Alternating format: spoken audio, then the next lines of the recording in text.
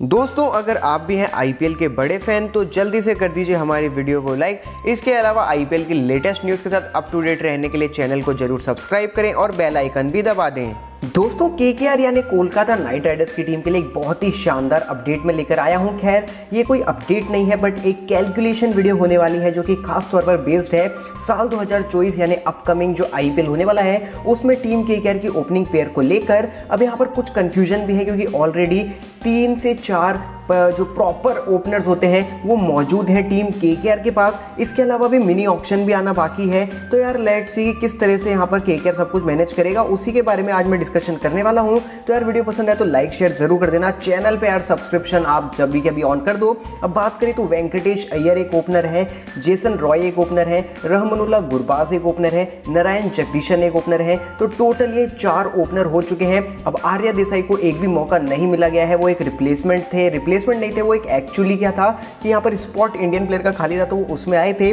तो इस हिसाब से आर्या देसाई एक भी मुकाबला नहीं खेले तो उन्हें हम नहीं यहाँ पर शामिल करेंगे। इसी तरह से लिटिन दास भी यहाँ पर एक मुकाबला ज़रूर खेले थे बट हो सकता है कि अब टीम उनको ना रिटेन करे, ना वो खुद रिटेन होना चाहे। तो इस वजह से मिनी आईपीएल के अंदर वो मिनी ऑप्शन के अंदर वो भी बाहर जाएँगे। तो कुल मिलाकर ये चार मैंने आपको नाम बताया, वही है, क्योंकि यहाँ पर हमें मनदीप सिंह, इसके अलावा सुनील नारायण, ऐसे थोड़े बहुत टाइम पास खिलाड़ी भी देखने को मिल सकते हैं ओपनिंग के तौर पर बट जो मेन ओपनर्स है, ये चार ही हैं। वेंकटेश अय्यर, जेसन रॉय रहमान रुबा और नारायण जगदीशन। अब नारायण जगदीशन का पता तो आप यहाँ पर कैंसिल ही समझ लेना।